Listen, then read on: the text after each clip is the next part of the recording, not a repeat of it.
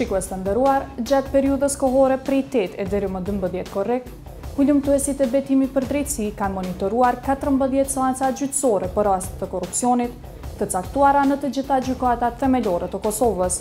Prej tyre 10 seanca janë mbajtur, përderisa 4 të tjera janë shtyrë për arsye të ndryshme.